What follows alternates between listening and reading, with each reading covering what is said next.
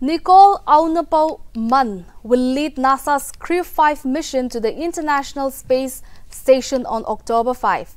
She is set to become the first Native American woman to venture into space. The National Astronautics and Space Administration informed that Nicole was selected by NASA in June 2013. She is scheduled to launch the International Space Station as commander of NASA's SpaceX Crew 5 mission aboard the SpaceX Crew Dragon spacecraft on October 3.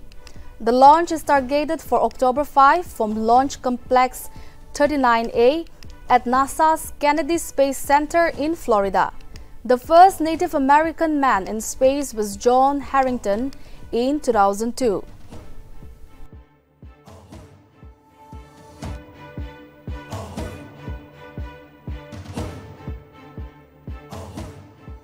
Nicole Aunapu Mann will lead NASA's Crew 5 mission to the International Space Station on October 5. She is set to become the first Native American woman to venture into space. The National Astronautics and Space Administration informed that Nicole was selected by NASA in June 2013. She is scheduled to launch the International Space Station as commander of NASA's SpaceX Crew 5 mission aboard the SpaceX Crew Dragon spacecraft on October 3.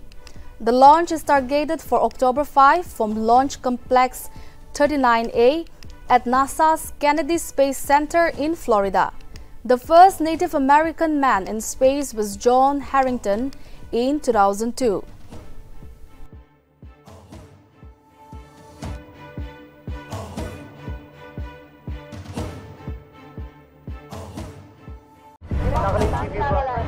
Nagaland TV, Sop Manulaga Awas. Watch us live on Jio TV and on your television sets as well. For Dimapur viewers, we are on channel number 994 in Global Chapter and Kohima and Mokokchung viewers, switch to channel number 138 on Hornbill Digital.